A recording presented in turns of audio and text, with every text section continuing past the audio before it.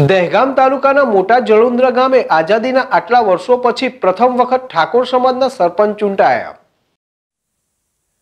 ગાંધીનગર જિલ્લાના દેગામ તાલુકાના મોટા જલુંદ્રા ગામે પંચોતેર જેટલી ગ્રામ પંચાયતની ચૂંટણીઓની મતગણતરી આજે કોલેજ ખાતે રાખવામાં આવી હતી. ત્યારે મોટા જલુંદ્રા ગામના રહીશ શંભુજી રમણજી સોલંકી સરપંચ તરીકે આઝાદીના આટલા વર્ષો પછી પ્રથમ વખત ઠાકોર સમાજના સરપંચ બનતા આજે દેગામ કોલેજ ખાતેથી મોટા જલુંદ્રા સુધી તેમનો વરઘોડો કાઢવામાં આવ્યો હતો અને તેમના ટેકેદારો ખૂબ જ આજના જીતની ખુશીમાં ઝૂમી ઉઠેલા દેખાઈ રહ્યા હતા અને તેમના વરઘોડામાં મોટી સંખ્યામાં ગ્રામજનો જોડાયા હતા.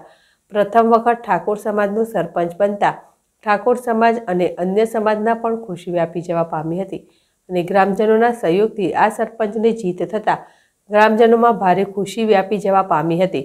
અને કાર્યકર્તાઓ મન મૂકીને ખૂબ જ ઉત્સાહમાં આવી ગયેલા નજરે પડતા હતા. અગરસિંહ ચૌહાણ, જેડેશ ટીવી, દેગામ.